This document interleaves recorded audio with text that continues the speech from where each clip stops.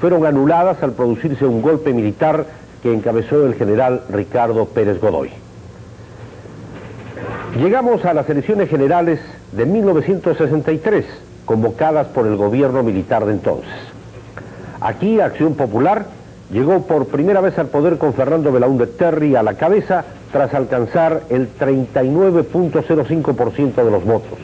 El partido aprista quedó segundo con el 34.36%. La Unión Nacional Odrista le siguió con el 25.52% y la UPP con el 1.6%. Los votos nulos y blancos llegaron al 6.75% y los ciudadanos inscritos en el registro electoral fueron 2.070.718. El ganador de las elecciones de 1963, el actual presidente Belaunde, no pudo culminar su mandato. El 3 de octubre de 1968, un golpe militar encabezado por el general Juan Velasco Alvarado lo derrocó y se inició una dictadura castrense que duró 12 años, alternándose en el gobierno el general Francisco Morales Bermúdez. Hubo pues una larga interrupción de la democracia durante la cual fue creciendo la izquierda en el país. Ya en 1980 los peruanos volvimos a las urnas. Veamos ahora el cuadro correspondiente a las elecciones presidenciales de 1980. Nuevamente, Acción Popular, con el arquitecto Fernando Belaúnde Terry, llega al poder con el 45.37% de los votos, una cifra récord jamás antes lograda por candidato presidencial alguno. El partido aprista, al igual que en 1963, quedó en segundo lugar con el 27.40%. Siguieron el Partido Popular Cristiano con el 9.57%, el Partido Revolucionario de los Trabajadores con el 3.90%, y otros grupos políticos menores alcanzaron en conjunto el 13.76%. Los votos nulos y blancos fueron entonces el 18.25% y el total de electores inscritos 6.485.680. Como ya señalamos, las elecciones del 56 al 63 fueron regidas por la Constitución de 1933. Es a partir de 1980 que intervienen nuevos factores en los procesos electorales de nuestra patria y uno de los principales, el otorgamiento del voto a los ciudadanos analfabetos. También surgieron adelantos técnicos para realizar sondeos y estudios de opinión pública sobre preferencias electorales. Y los medios de comunicación, especialmente la televisión, alcanzó una tecnificación que permite llegar a todo el país, tanto con las encuestas electorales, cuanto con los resultados mismos de las elecciones. Para las de 1985 se ha puesto en vigencia un nuevo sistema para elegir al presidente de la República y es el de la doble vuelta. El nuevo presidente debe tener la mayoría absoluta de los votos, es decir, el 51% del total, incluido los nulos y los en blanco. Para el proceso electoral en marcha es un tanto difícil pronosticar el número de votos blancos y nulos que habrá, pero hemos tratado de hacer una muestra que enseguida les ofrecemos, incluidos los resultados desde 1956 hasta 1980. En las elecciones de 1956 los votos nulos y blancos fueron del orden del 4.8%. En 1962 no se registraron oficialmente por cuanto las elecciones fueron anuladas. En 1963 la cifra de nulos y blancos fue de 6.75% y en 1980 del 18.25%. Para las elecciones del próximo 14 de abril hemos preparado un simulacro solamente en Lima para la fórmula presidencial que arroja un aproximado del 10.2% de votos nulos y blancos. Debemos señalar que este resultado es solamente un aproximado, sujeto a variaciones, pues consideramos que de aquí a la fecha de las elecciones los electores pueden determinar otra cosa.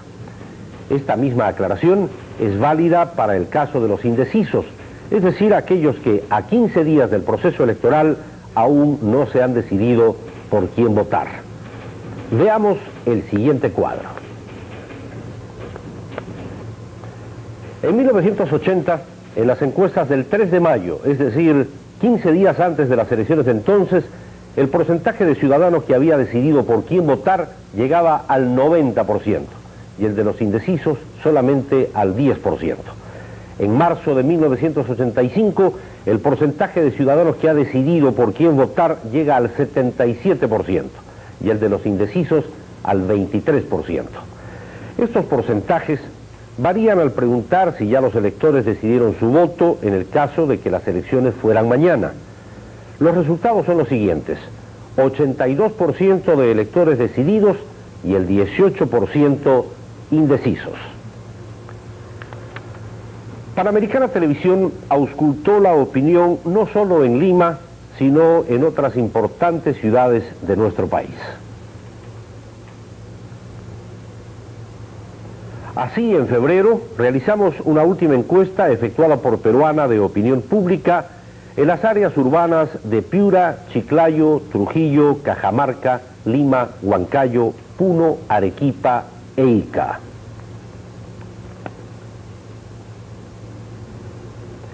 En esas ciudades se repitió la misma pregunta.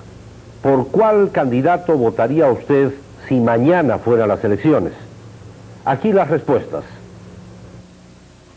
En la ciudad de Piura, Alan García obtuvo el 61%, seguido por Barrantes con 19%, Bedoya Reyes con 8%, Alba Orlandini con 6%, no saben ninguno 6%.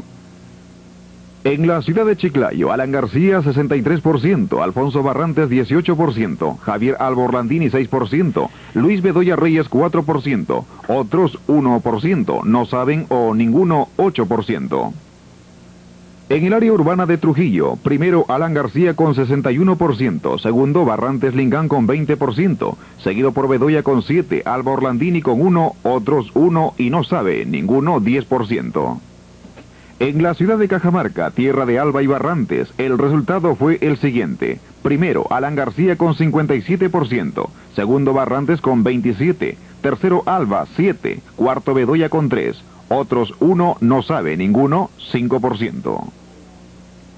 En Huancayo, una de las ciudades consideradas como bastión del aprismo, Alan García tiene 49%, Barrantes 27%, Alba 3, Bedoya 2, otros 3 no saben ninguno, 16%. En la capital es donde mejor colocado está el candidato de la convergencia, Bedoya Reyes. Aquí la encuesta arrojó el siguiente resultado. Alan García primero con 51%, Luis Bedoya Reyes con 17%, Barrantes con 14%, Alba 4%, otros 2%, no saben ninguno 12%. En la ciudad de Ica, Alan García obtuvo el 57% de los pronósticos, Barrantes 26, Bedoya 3, Alba 2, otros 2 no saben, ninguno 10%. En la Ciudad Blanca está el mejor porcentaje de Barrantes, pero es Alan García quien encabeza los pronósticos con 47%, seguido por Barrantes con 29, Bedoya con 8, Alba con 6, otros 1, no saben o ninguno 9%. En la ciudad de Puno, Alan García tiene 42%, Barrantes 26, Bedoya 8, Alba Orlandini 6, otros 3 no sabe o ninguno 15%. En la capital oletana, Alan García conserva la delantera con 42%, seguido por Barrantes con 27, Alba con 18, Bedoya con 5, otros candidatos 2 y no saben o ninguno 6%. Unos mensajes y estamos retornando con Elecciones 85, recta final. Recta final.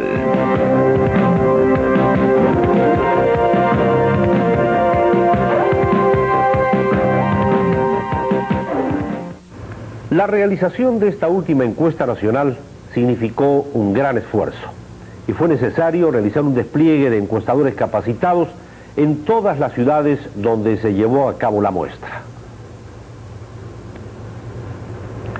El trabajo se realizó en 10 ciudades, Piura, Chiclayo, Trujillo, Cajamarca, Iquitos, Lima, Huancayo, Ica, Arequipa y Puno. La investigación se realizó entrevistando a hombres y mujeres en edad de votar entre los 18 y los 65 años de edad, de todos los niveles socioeconómicos. En total fueron entrevistadas 1.200 personas en Lima y 500 en cada una de las ciudades del interior. Se utilizó el método tradicional de la encuesta realizando las entrevistas en los respectivos domicilios. A los encuestados se les preguntó si mañana fueran las elecciones, ¿por cuál candidato votaría usted? La respuesta fue así. En Piura, Alan García 51, Barrantes 15, Bedoya 12, Alba Orlandini 4, otros 0, no sabe ninguno, 18. En Chiclayo, García 49, Barrantes 23, Bedoya 6, Alba Orlandini 5, otros 1, no sabe ninguno, 16. En Trujillo, García 62, Barrantes 12, Bedoya 5, Alba Orlandini 3, otro 0, no sabe ninguno, 18.